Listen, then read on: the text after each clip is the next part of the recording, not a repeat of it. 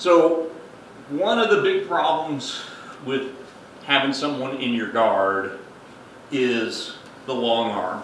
So anytime we're doing tuite, what I recommend is from the guard position, you go through your list of possible ways to grab the wrist, whatever hand positions you're used to and that you like, and then add in the principle of keeping the arm bent.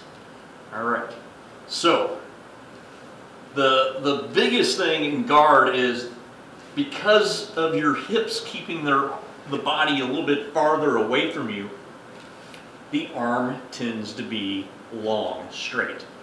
And when their arm is straight, it's not impossible to do wrist locks, but it's a lot harder to get the angle correct. And you can't use your hips to rotate to that rotation, rotating the wrist like you can when you're standing. It's so much easier to do standing because you have the free movement. So what we've got to do is get their arm to bend. And the easiest way to do that is when I'm up in closed guard or whatever, I need to switch to a side hip position and put my leg over their arm. Right? So as I'm trying, we're playing this game and I finally get some sort of wrist lock, whatever it is, whether it's cross or here, both hands, I need to bend that. And the way I do that is by throwing this leg over the arm that I'm attacking. Typically, depending on your flexibility and whatnot, you may have to, to post a foot and shrimp over and then come up. Or you may be flexible enough to where you can do that without that motion, or you might be able to use their hip to kind of throw you over. But what I want to do is I want to get this bent. I don't want the straight arm. Uh, just lock your arm straight. It's not going to work. All right. If he's got that arm straight and I'm uh, hooked in here into a closed guard, all I've got to do is get here and now his arm is bent. And then I drive it towards him and it bends even more. Once I'm there, low leg comes out and I'll probably push or push and then I'm right to here.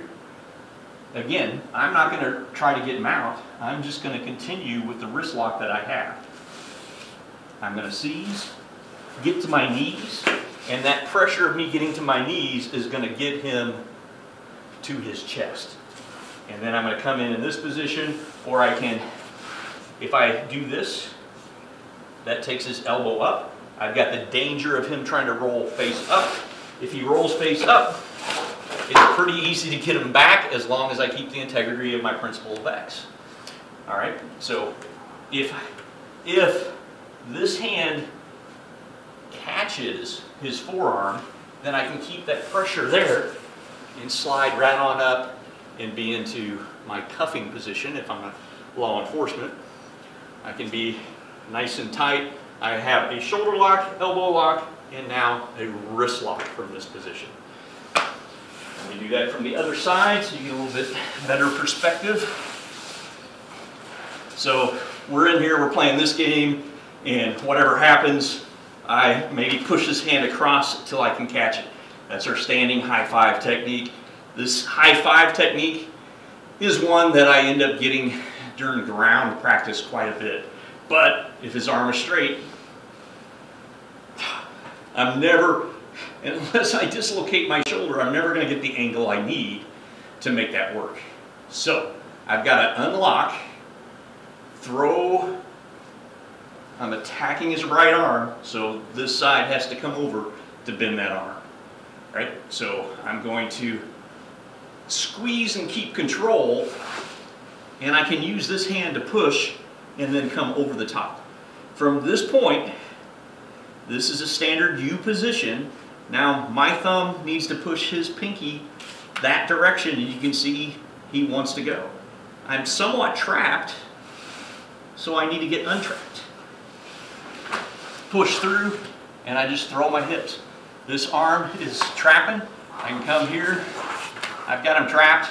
I Can sit here, take a little nap, call, call my mom, see how she's doing, whatever. But if I push down on it and slide up, I can get him into this lock here. As long as I keep that pinky behind his ring finger, I've got control of him.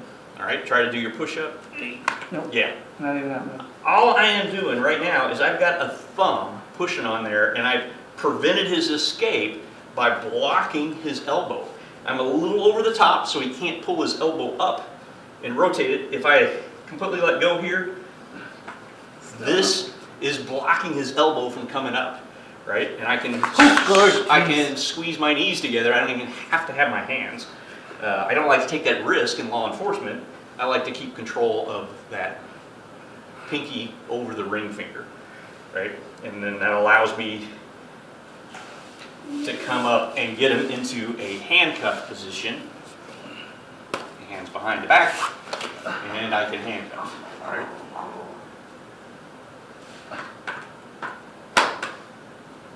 On this note, I did a extension technique. Mm-hmm. Like we've done before, I may have come in and got into a flexion technique. Right? Anytime I get flexion, it's rare that their arm is straight. Mm-hmm. So it's a little bit easier to mm-hmm. get a bent arm, but these, it's hard to get the angle right again, right? It's just hard for me to get enough, I can't take it that way far enough to get him to want to come out of this, right? To get him to do the ten, to to go away. I can't make him go away because I just don't have enough body rotation from this position to make it happen as long as my hips are flat against the ground. So I need to get rotated in order to make a flexion, fingers up technique work. So from here, I've already broken his balance and I'm capturing, it's hard to see, this, my forearm is against that and I'm starting that kind of roll motion, right?